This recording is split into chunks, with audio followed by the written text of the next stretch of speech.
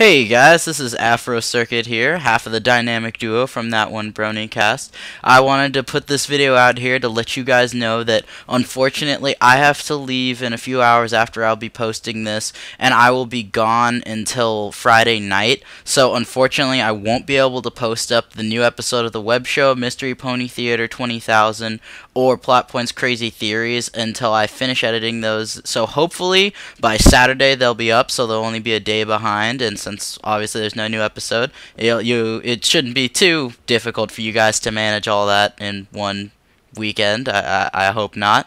I, I don't know if you can't handle us on weekends, then I guess you'll have to wait to watch us until Monday.